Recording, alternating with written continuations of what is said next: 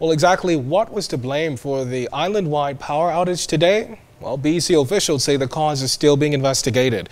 Teams were dispatched immediately after the outage around 9 this morning, and by 11.30, BEC officials say power was restored.